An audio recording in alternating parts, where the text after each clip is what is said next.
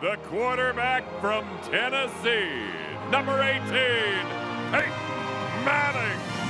When you think about the history of football and all the greats that have played, and someone now in this era have opportunity to break one of those records, that really means something. It uh, means that this guy has been consistent every year that he played.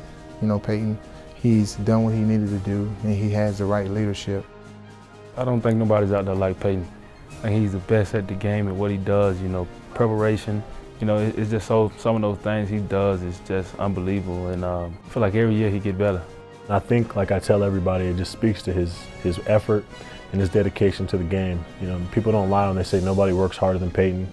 Nobody holds themselves to a higher standard, and it's an honor to play with somebody that's accomplished so much, but you know, it's still hungry to accomplish more. So, you know, my, my hat's off to him.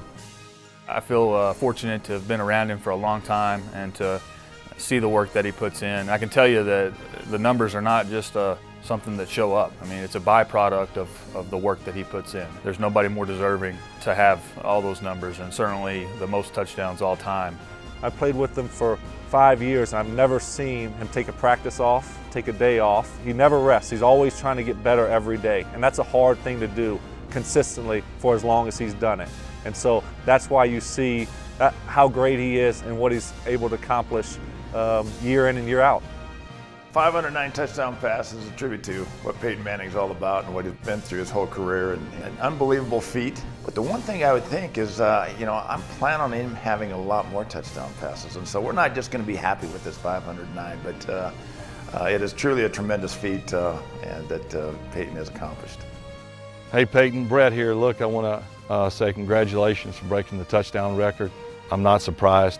You've been a wonderful player and I've enjoyed watching you play. I've enjoyed competing against you and I, I wish you uh, great success for, for the uh, rest of the season and rest of your career. But again, congratulations.